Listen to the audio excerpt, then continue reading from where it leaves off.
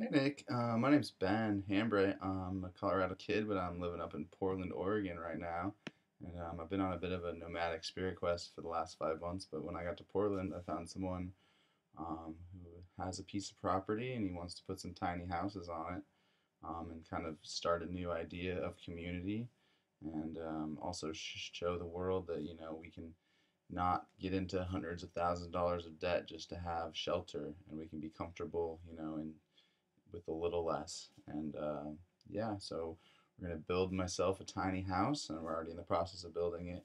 Um, it's going to be like 200 square feet and a-frame and it's going to be off the grid because it just makes it a lot easier as far as like codes and city and also just with this idea of sustainability and um, you know the, the few possible future of how we live.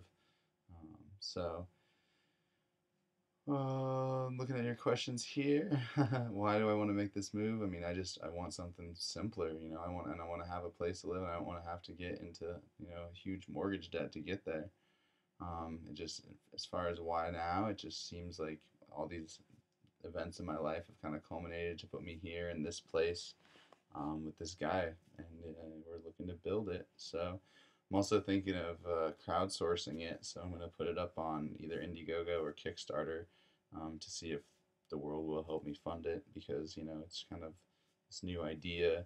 And um, as far as me and my off the grid community resources, I'm just a I'm a really good organizer, physical and digital spaces.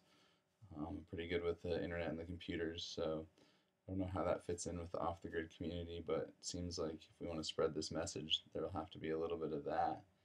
Um, our place will definitely be, hopefully in the future, a place that people can come and check out our off the grid properties.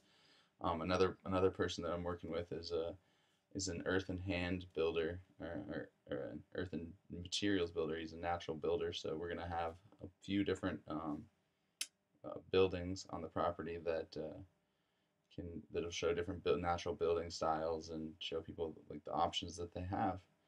Um, I can kind of handle a video camera. I've got a GoPro and I know how to use iMovie, so I will be blogging about this. So hopefully, uh, I don't know. I just thought I saw your thing on the side of the website, so I figured I'd send you a short video. Um, have a great day, sir.